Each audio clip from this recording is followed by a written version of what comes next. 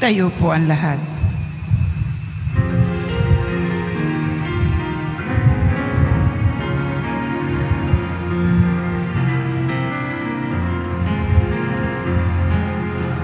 Panginoon ay purihin, ngalan niya ay dakilain.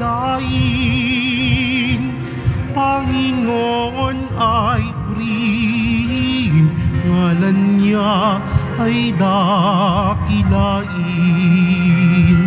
Panginoon, ikaw ang may likha ng langit dagat at lupa ng buwan, araw at mga bituin Kanang nilalang sa papawirihin Panginoon ay purin.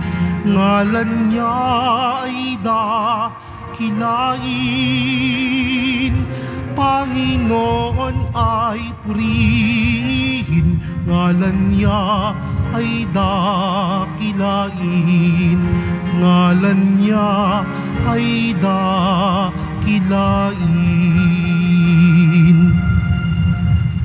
Sa ngala ng Ama at ng Anak at ng Espiritu Santo, Amen. sumainyo ang Panginoon. At sumaiyo rin. Mga kapatid, aminin po muna natin pagsisihan ang ating mga kasalanan upang tayo'y maging marapat gumanap sa banal na pagdiriwang. Inaamin ko Sa makapangyarihang Diyos at sa inyo mga kapatid, na lubha ako nagkasala sa isip, sa salita at sa gawa at sa aking pagkukulang. Kaya isinasamo ko sa mahal na Birhen Maria sa lahat. ng mga ber- anghel at mga banal at sa inyo mga kapatid na ako'y panalangin sa Panginoong ating Diyos. Kaawaan tayo ng makapangyarihang Diyos, patawarin sa ating mga kasalanan at patnubayan sa buhay na walang hanggan. Amen. Panginoon, kaawaan mo kami. Panginoon, kaawaan mo kami. Kristo, kaawaan mo kami. Kristo, kaawaan mo kami. Panginoon, kaawaan mo kami. Panginoon, kaawaan mo kami. Manalangin tayo. Ama naming makapangyarihan, ang iyong dakilang pagkamaawain ay nangingibabaw sa aming ginagawang kabutihan at idinadaing na mga kahilingan. Ang kagandahang loob mo sa amin ay gawin mong mag-umapaw upang ang kasalanang ipinangangambang ihingi ng kapatawaran ng budhi naming takot na ikaw ay lapitan ay iyong patawarin ng lubusan at ang ipinag-aalangan naming hilingin sa pagdarasal ay iyong pagbigyang aming makamtan sa pamamagitan ni Heso Kristo kasama ng Espiritu Santo magpasawalang hanggan. Amen. Magsiupo po ang lahat. Ang simula ng aklat ni Propeta Honas. Sa lipi ni Sabulon ay may isang lalaking Honas ang pangalan. Siya ay anak ni Amitay. Isang araw, sinabi sa kanya ng Panginoon, Pumunta ka sa Ninibe, ang malaking lungsod, at pangaralan mo ang mga taga roon, sapagkat suko na sa langit ang kanilang kasamaan. Sa halip na sumunod, ipinasya ni Honas na magtago sa Tarsis, sapagkat inaakala niyang malayo na yon sa Panginoon. Kaya nagtungo siya sa Hope at humanap ng barkong papunta sa Tarsis. Nang maibigay niya ang kaukulang upa, sumakay siya sa bapor, kasama ng mga tripulante. Ngunit nang sila'y nasa laot na, nagpalitaw ng malakas na bagyo ang Panginoon. Ano pat halos mawasak ang barko. Dahil dito, sinidla ng matinding takot ang mga tripulante. Kaya bawat isa'y nanalangin sa kanyang Diyos. Pagkatapos, inihulog nila sa dagat ang mga kargamento para gumaan ang sasakyan. Samantala, Si Honas ay mahimbing na natutulog sa isang sulok sa ibabang palapag ng barko. Nakita siya ng kapitan at ginising. Hoy, tulog ka ng tulog diyan.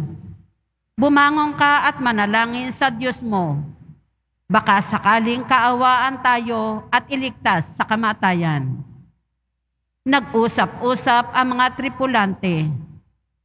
Magsapalaran tayo para malaman natin kung sino ang dahilan ng lahat ng ito. Gayon nga ang ginawa nila at nabunot ang pangalan ni Honas. Kaya siya kinausap nila. Nagsapalaran kami para malaman kung sino ang may kasalanan at ikaw ang nabunot. Ano ba ang ginagawa mo rito at taga saan ka? Ako ay Hebreo, sagot ni Honas. Nananalig ako sa Panginoon, ang Diyos ng kalangitan, ang lumikha ng dagat at ng lupa. Bago pa ito nangyari, sinabi ni Honas na pinagtataguan niya ang Panginoon. Kaya sa malaking takot, pahilakbot nilang sinabi kay Honas, Napakalaki ng ginawa mong kasalanan. Lalong lumakas ang bagyo. Kaya si Honas ay kinausap uli ng tripulante. Ano ang ibig mong gawin namin sa iyo para pumayapa ang dagat? Ihagis ninyo ako sa dagat sapagkat alam kong ako ang dahilan na nagngingit-ngit na bagyong ito. Sagot niya. Pinipilit sana ng mga tripulante na itabi ang bapor, ngunit wala silang magawa sapagkat lalong lumalakas ang bagyo. At nanalangin sila ng ganito, Panginoon, naway huwag ninyo kaming parusahan o ibilang na mamamat, mamamatay tao sa gagawin namin sa taong ito. Yamang kayo na rin ang nagpahiwatig ng dapat naming gawin. Pagkasabi nito, binuhat nila si Honas at inihagis sa dagat. At bigla itong pumayapa. Dahil dito, sinidlan sila na matinding takot sa Panginoon. Kaya't naghandog sila at namanata sa Kanya. Ang Panginoon naman ay nagtalaga roon ng isang dambuhalang isda. Nilulon nito si Honas. Siya nanatiling tatlong araw at tatlong gabi sa tiyan ng isda. Nang si Honas ay nasa tiyan ng isda, nanalangin siya. Kinausap ng Panginoon ang isda at si Honas ay iniliwan nito sa dalampasigan. Ang salita ng Diyos. Salamat sa Diyos. Sa tiyak na kamatayan, ako'y ipinagsanggalang. Sa tiyak na kamatayan, ako'y ipinagsasanggalang. Nang si Honas ay nasa tiyan ng isda, nanalangin siya. Sa tiyak na kamatayan, ako'y ipinagsasanggalang. Poon, nang ako'y nasa kagipitan, nanalangin ako sa iyo at sinagot mo ako.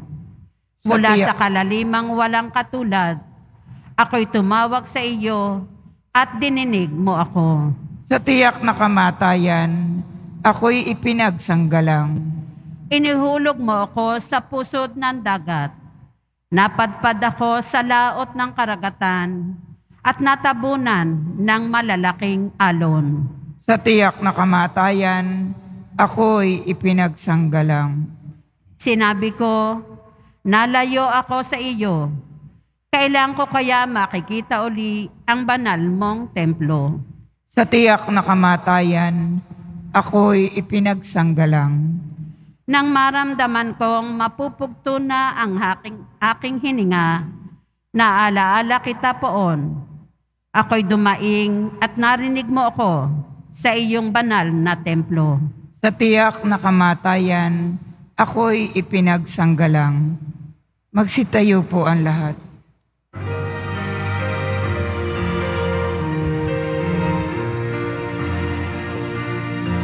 Ang Hallelujah.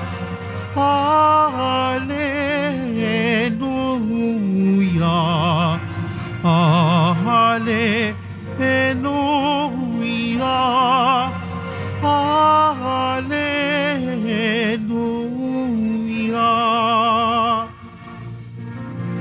Bagong utos ani Kristo. Mag-ibigan sana kayo.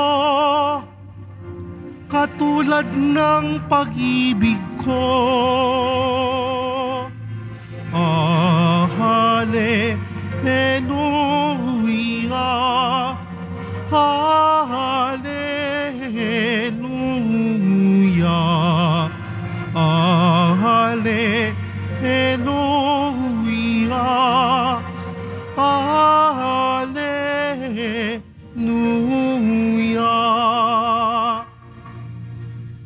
Sumainyo ang Panginoon. At sumaiyo rin. Ang mabuting balita ng Panginoon ayon kay San Lucas.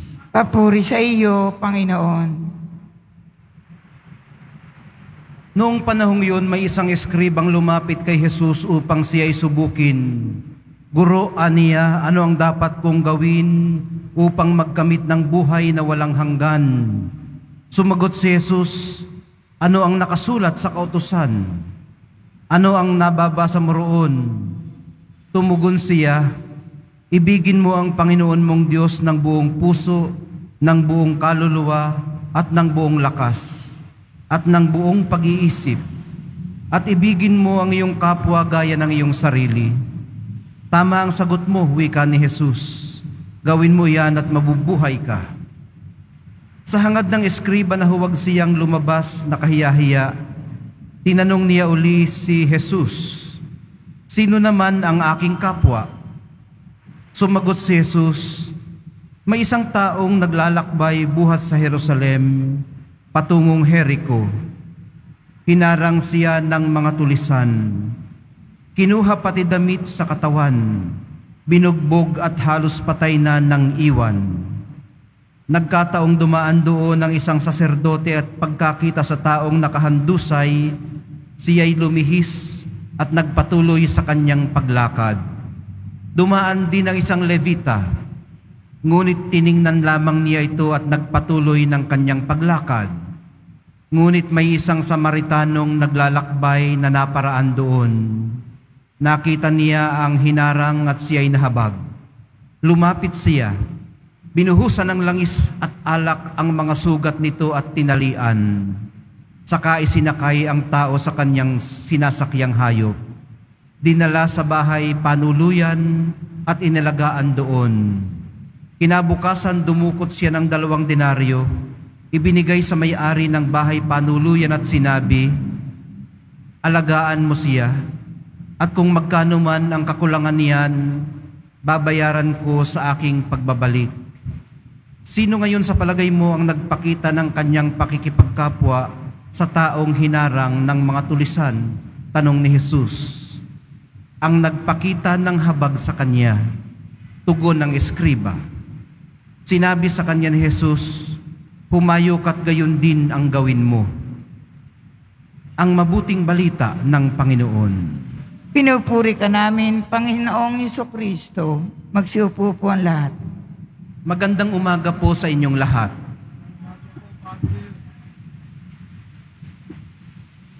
Sinisimulan po natin ang ating work week, araw ngayon ng lunes, sa pamamagitan ng pagsisimba. Sa talinghaga po ng mabuting Samaritano na narinig natin ngayon, malinaw na inaanyayahan tayo ng mahal na poong Jesus Nazareno na palawakin ang ating pananaw sa pakikipag-ugnayan natin sa kapwa.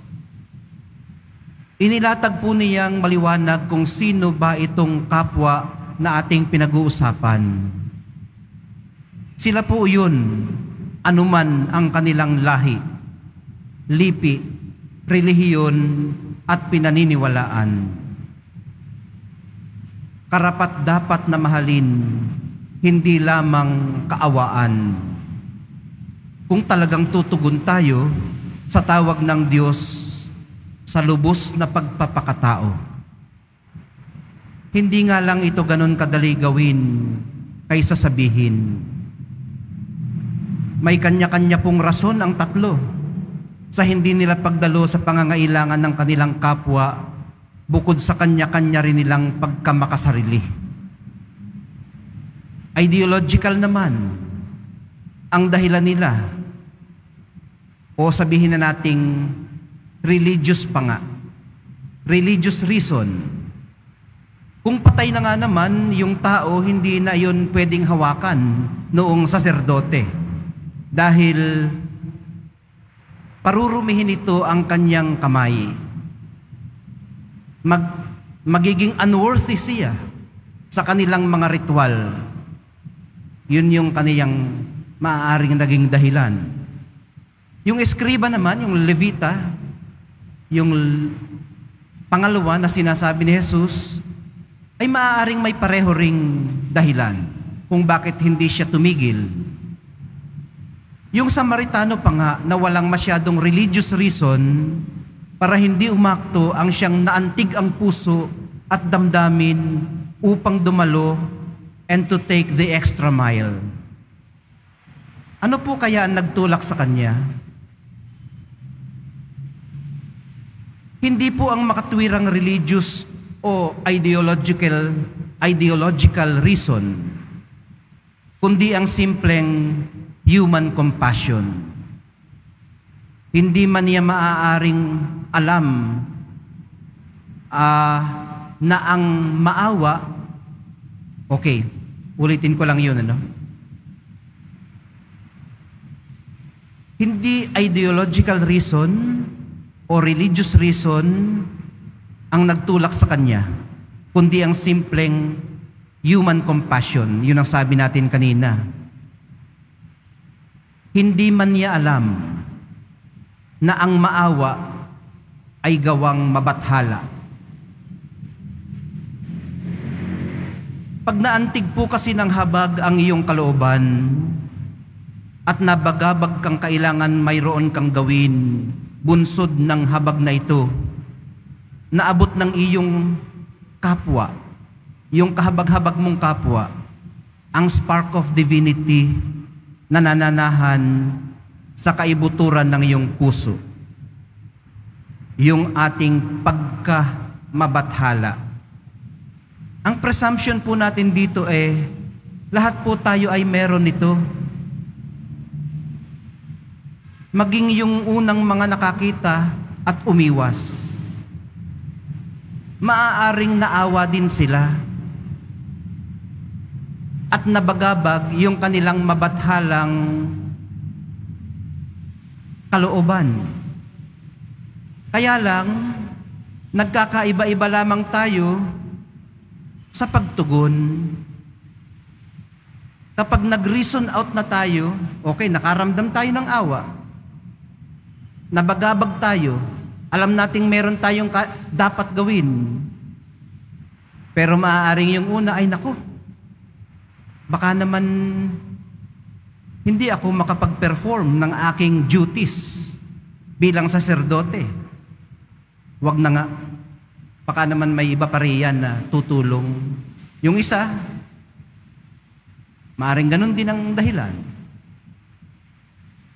Yung isa, hindi na niya pinakinggan kung ano man ang rason, kung ano man ang naiproseso ng kanyang isip, ang pinakinggan niya direkta ay ang kanyang naramdaman. Doon po tayo nagkakaiba-iba.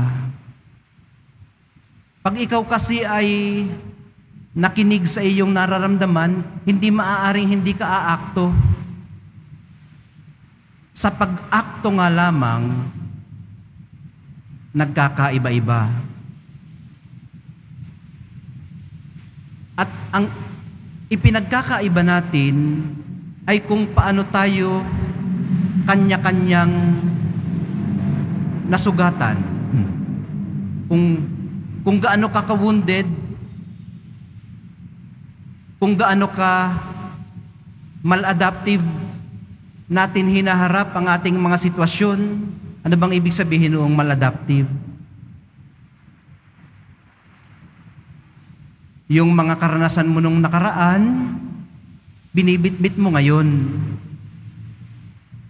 Nakita mo ngayong sarili sa isang sitwasyon, nag tumutugon ka doon sa sitwasyon na iyon dito ngayon base doon sa naranasan mo noong nakaraan. Yun ho ang maladaptive. At karamihan sa atin ay tumutugon sa mga sitwasyon natin ngayon base sa nakaraan. Kasi nga, baka masyado tayong nasaktan noon. Kung hinaharap nga natin yung sitwasyon at hindi natin iniiwasan o tinatakasan gaya ng dalawang nauna ng naihalimbawa, masasabi nating marahil wala masyadong bagahe yung mabuting Samaritano. Wala siyang maraming mga maladaptive na mga pamamaraan sa buhay.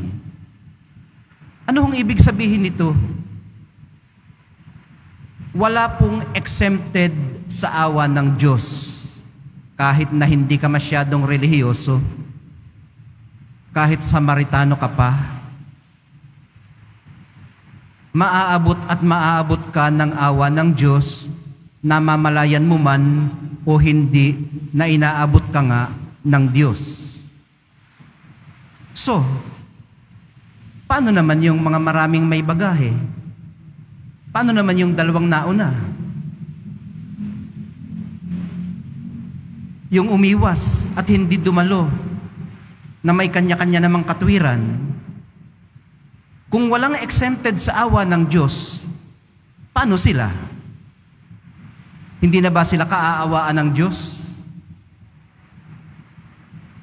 Sa tingin ko po mga kapatid, ikinoconsider din po ng Diyos hindi lamang ang ating kahinaan, kundi ang ating complexity sa pagkalikha bilang tao. Masyado tayong complicated. At sa pagiging complicated natin, nagiging sophisticado tayo kung ano-ano ang ating iniisip sa isang simpleng pangyayari. Ang paanyaya sa atin ay isimplify lang ang ating pagtugon. Ito ang sitwasyon, ano ang hinihingi ng sitwasyon, paano tayo tutugon doon? Huwag na nating maging, huwag na nating masyadong gawing komplikado. Ano ho? Ah. At kapag ginawa nating absolute, yung alam na natin, anumang ginagawa nating absoluto sa buhay at sa ating paniniwala, ginagawa natin silang parang mga Diyos natin. Isa lamang nga absolute, ang Diyos po mismo.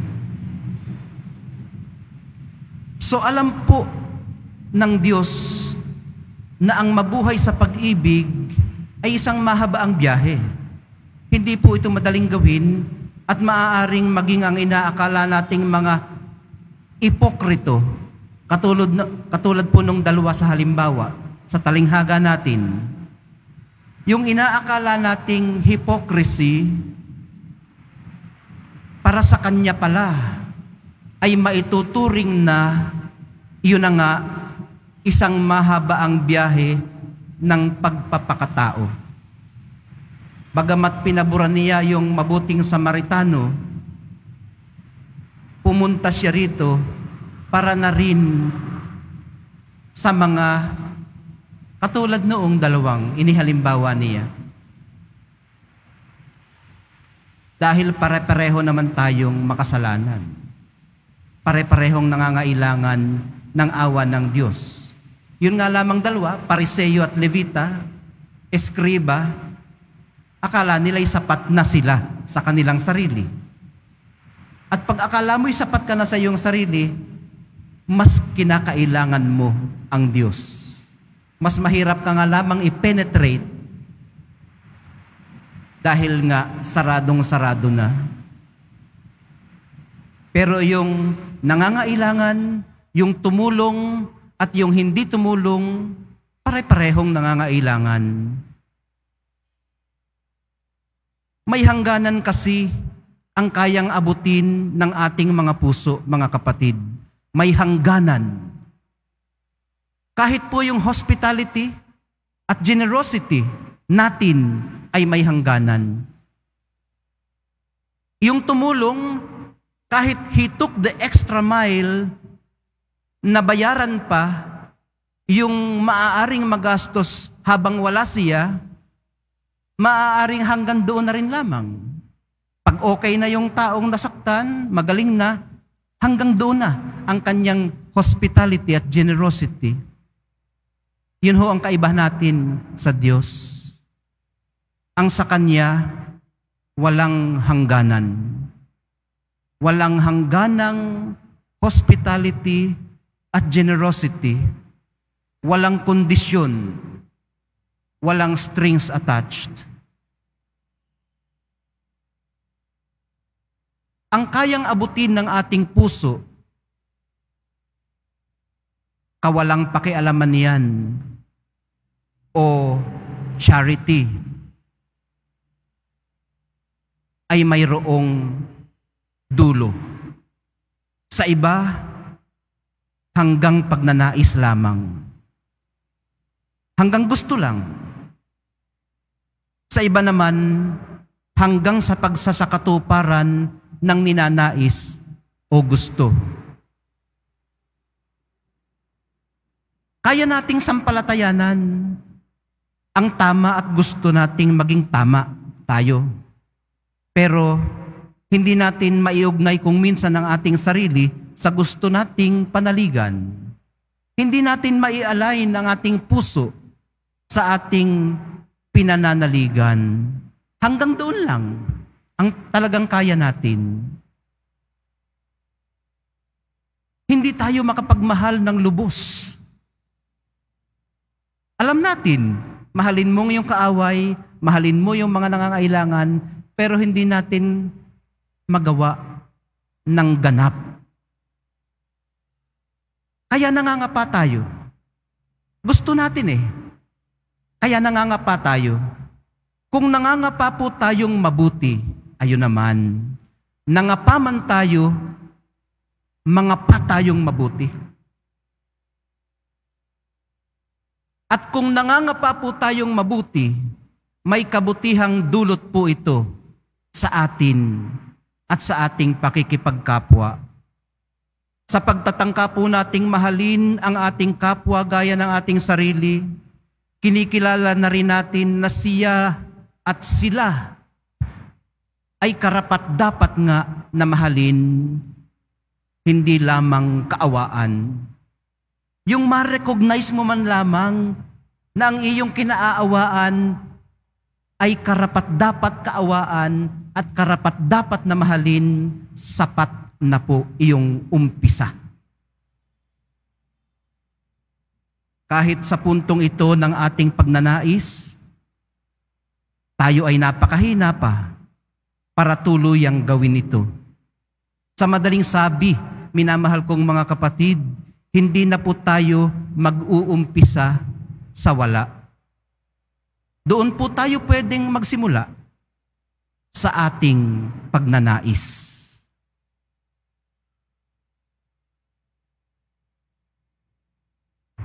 Tayo po ang lahat.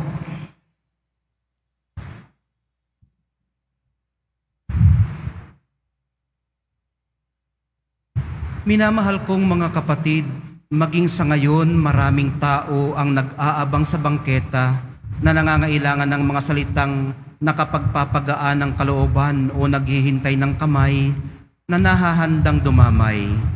Manalangin tayo sa amang nasa langit upang maipadama natin ang ating pagmamahal sa konkretong aksyon kaysa sa magandang salita lamang.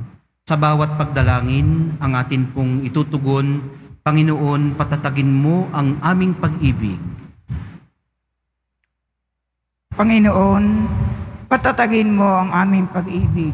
ang simbahan sa kanyang mga pastol at bayan naway magpakita ng pag-ibig ng Diyos sa pamamagitan ng pagmamahal sa kapwa. Manalangin tayo.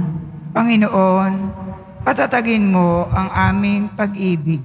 Ang mga naglilingkod sa mga dukha, nawa ay hindi manghina ang loob o mawala ng pag-asa. Manalangin tayo. Panginoon, patatagin mo ang aming pag-ibig. Ang bawat tao na makasalamuha natin, nawa ay pakitaan natin ang kabutihang loob at paggalang. Manalangin tayo. Panginoon, patatagin mo ang aming pag-ibig. Ang mga nalulumbay at ang mga may karamdaman sa ating lipunan, naway huwag nating baliwalain o lagpasan lamang. Manalangin tayo. Panginoon, pata- patatagin mo ang aming pag-ibig. Ang mga yumao, naway dalhin ni Kristo sa kanyang walang hanggang kaharian. Manalangin tayo. Panginoon, patatagin mo ang aming pag-ibig. Ama naming Diyos, habang ipinagdarasal po namin ang iba, tulungan mo rin kaming mahalin at paglingkuran ang aming kapwa at tanggapin ang iyong mahal na anak na nabubuhay at naghahari magpakailanman. Amen. Siupo po ang lahat.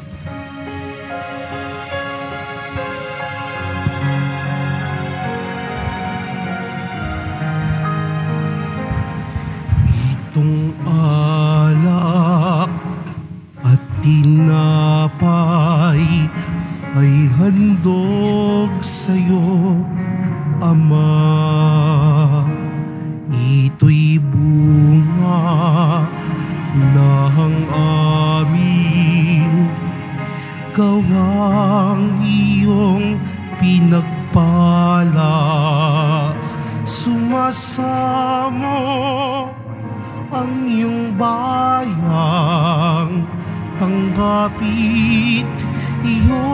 basbasan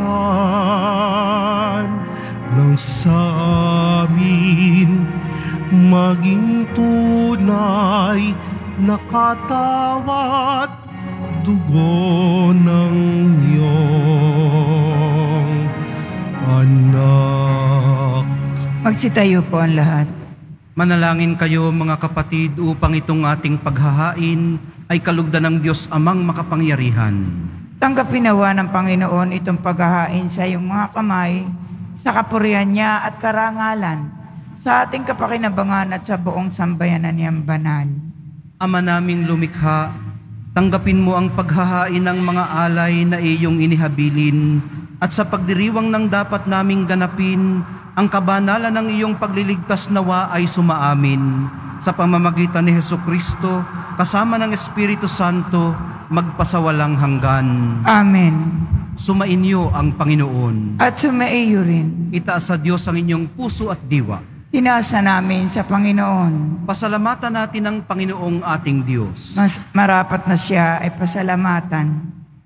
Ama naming makapangyarihan, tunay ngang marapat na ikaw ay aming pasalamatan.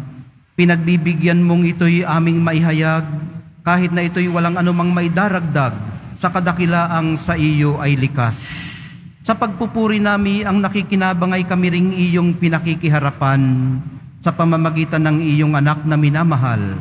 Kaya kaisa ng mga anghel na nagsisiawit ng papuri sa iyo nang walang humpay sa kalangitan, kami nagbubunyi sa iyong kadakilaan. Santo, Santo, Santo, Panginoon Diyos ng mga hukbo, napupuno ang langit at lupa ng kadakilaan mo. Usana sa kaitaasan, pinagpala na paririto sa ngalan ng Panginoon. Usana sa kaitaasan, magsiluhod po ang lahat. Ama naming banal, ikaw ang bukal ng lahat ng kabanalan. Kaya't sa pamamagitan ng iyong Espiritu, gawin mong banal ang kaloob na ito upang para sa amin maging katawan at dugo ng aming Panginoong Heso Kristo. Bago niya pinagtiis ang kusang loob na maging handog, hinawakan niya ang tinapay, pinasalamatan kaniya, Pinaghati-hati niya iyon, iniabot sa kanyang mga alagad at sinabi, Tanggapin ninyong lahat ito at kanin. Ito ang aking katawan na ihahandog para sa inyo.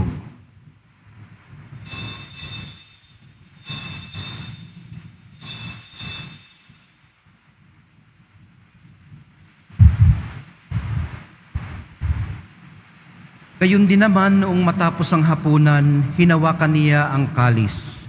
Muli kanyang pinasalamatan.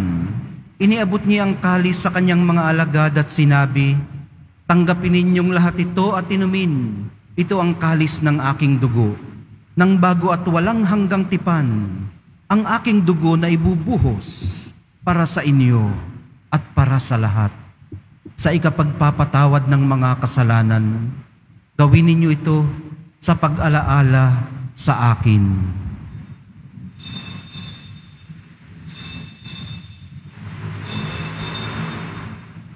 Sitayo po ang lahat. Ipagbunyin natin ang misteryo ng pananampalataya. Si Kristo'y namatay, si Kristo'y nabuhay, si Kristo'y babalik sa wakas ng panahon. Ama, ginagawa namin ngayon ang pag-alala sa pagkamatay at muling pagkabuhay ng iyong anak. Kaya't iniaalay namin sa iyo ang tinapay na nagbibigay buhay at ang kalis na nagkakaloob ng kaligtasan. Kami nagpapasalamat dahil kami iyong minarapat na tumayo sa harap mo para maglingkod sa iyo. Isinasamo namin kaming magsasalo-salo sa katawan at dugo ni Kristo ay mabuklod sa pagkakaisa sa pamamagitan ng Espiritu Santo. Ama, lingapin mo ang iyong simbahang laganap sa buong daigdig. Puspusin mo kami sa pag-ibig. Kaisa ni Francisco na aming Santo Papa at ni Jose na aming arsobispot ng lahat ng mga obispot kaparian at ng iyong piniling sambayanan. Alalahanin mo rin ang mga kapatid naming nahimlay nang may pag-asang sila'y muling mabubuhay, gayon din ang lahat ng mga pumanaw. Kaawaan mo sila at patuloyin sa iyong kaliwanagan. Kaawaan mo't pagindapatin kaming lahat na makasalo sa iyong buhay na walang wakas. Kaisa ng mahal na Birheng Maria na ina ng Diyos, ng kabiyak ng puso niyang si San Jose, kaisa ng mga apostol ni San Juan Bautista at ng lahat ng mga banal na namuhay dito sa daigdig ng kalugod-lugod sa iyo. Maipagdiwang nawa namin ang pagpupuri sa ikararangal mo sa pamamagitan ng iyong anak na aming Panginoong Heso Kristo. Sa pamamagitan ni Kristo, kasama niya at sa Kanya, ang lahat ng parangal at papuri ay sa iyo, Diyos amang makapangyarihan, kasama ng Espiritu Santo, magpasawalang hanggan. Amen.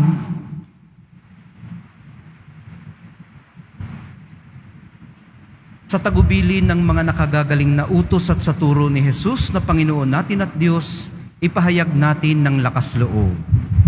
Ama Ama namin, sumasalangit ka, sambahin ang ngalan mo, mapa sa amin ang karian mo, sundin ang loob mo dito sa lupa para ng sa langit. Bigyan mo kami ngayon ng aming kakanin sa araw-araw, at patawarin mo kami sa aming mga sala, para ng pagpapatawad namin sa nagkakasala sa amin. At huwag mo kaming ipahintulot sa tukso, at iadya mo kami sa lahat ng masama. Hinihiling po namin kami iadya sa lahat ng masama, pagkalooban ng kapayapaan araw-araw, iligtas sa kasalanan, at ilayo sa lahat ng kapahamakan, samantalang aming pinananabikan ang dakilang araw ng pagpapahayag ng tagapagligtas naming si Heso Kristo. sapagkat iyo ang kaharian at ang kapangyarihan at ang kapurihan magpakailanman. Amen. Panginoong Heso Kristo, sinabi mo sa iyong mga apostol, kapayapaan ang ibinibigay ko sa inyo, ang aking kapayapaan ang iniiwan ko sa inyo. Tunghayan mo ang aming pananampalataya at wag ang aming pagkakasala. Pagkalooban mo kami ng kapayapaan at pagkakaisa ayon sa iyong kalooban, kasama ng Espiritu Santo, magpasawalang hanggan. Amen. Ang kapayapaan ng Panginoon ay laging sumainyo at sumaiyo rin. Magbigayan po kayo ng kapayapaan sa isa't isa.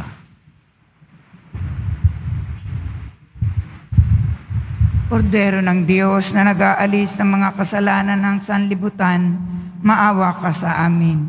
Kordero ng Diyos na nag-aalis ng mga kasalanan ng sanlibutan, maawa ka sa amin.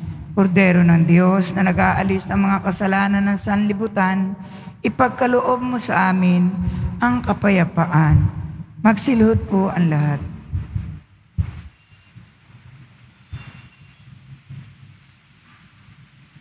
Ito ang kordero ng Diyos na nag-aalis ng kasalanan ng sanlibutan. Mapapalad ang mga inaanyayahan sa piging ng kordero. Panginoon, hindi ako karapat hindi dapat. ako karapat dapat magpatuloy sa iyo.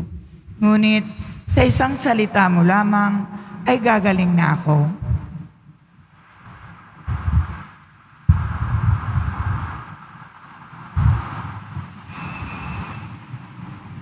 Para sa lahat ng tatanggap ng banal na komunyon, sasagot po tayo ng amin.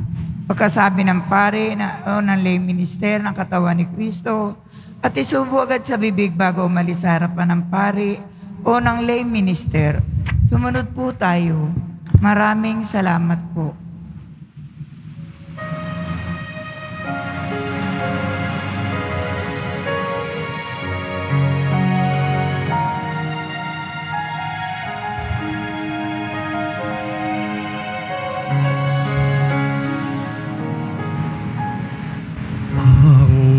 Mamatay sa sarili ay mabubuhay sa Diyos. Siya'y larawan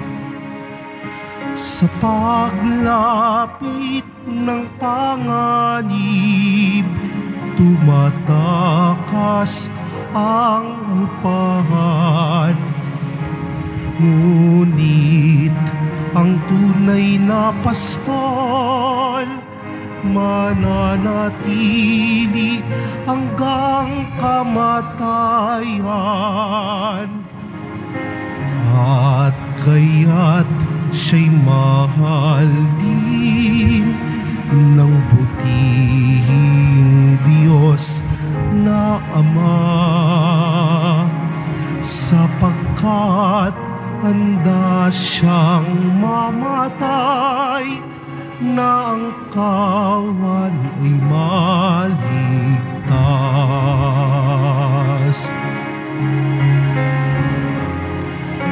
Sa paglapit ng panganib, tumatakas ang upahan.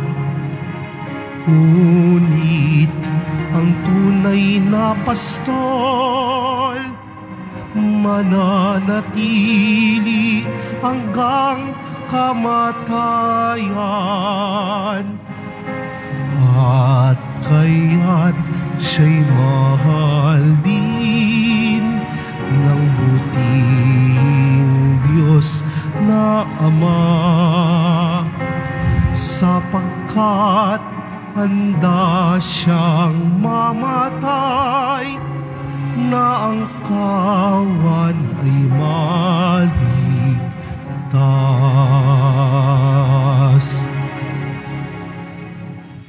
Announcement. Available na po ang ating mga All Souls envelope.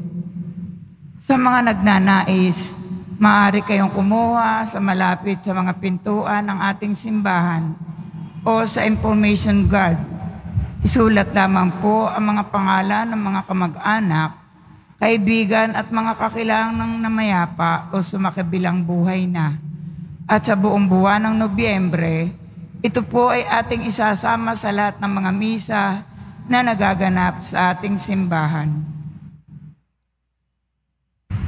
Pagkatapos ng misa, wiwisikan po ang lahat ng banal na tubig. Pinakikiusapan ang lahat na manatili lamang muna sa inyong lugar, tanging sa Quezon Boulevard o sa Plaza San Juan lamang ang labasan ng lahat. Sumunod po tayo. Maraming salamat po sa inyong pagdalaw at pagsisimba sa Basilica Minor ng Pambansang Dambana ni Jesus Nazareno. Magsitayo po ang lahat. Manalangin tayo.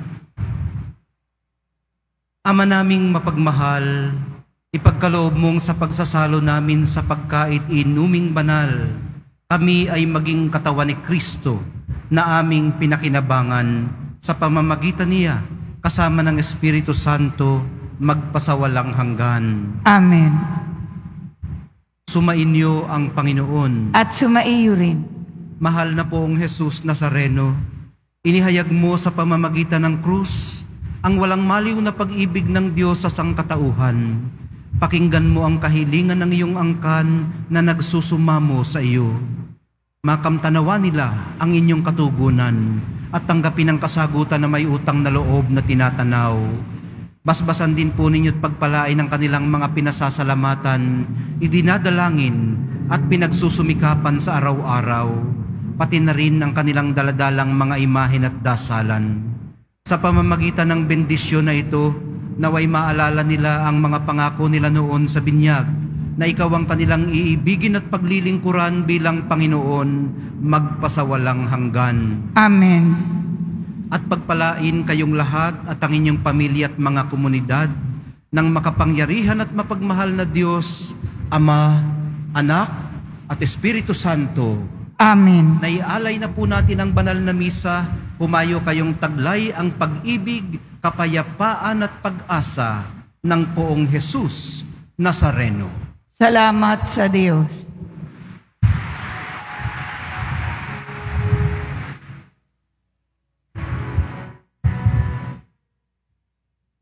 Padre Jesus Nazareno, sinasamba ka namin. Pinipintuho ka namin. Aral mo ang aming buhay at kaligtasan. Nuestro Padre Jesus Nazareno, iligtas mo kami sa kasalanan. Ang krus mong kinamatayan ay sagisag ng aming kaligtasan. Nuestro Padre Jesus Nazareno, dinarangal ka na amin. Nuestro Padre Jesus Nazareno, ninulwalhati ka namin. Nuestro Padre Jesus Nazareno, dinarangal ka na amin. Nuestro Padre Jesus Nazareno, ninulwalhati namin.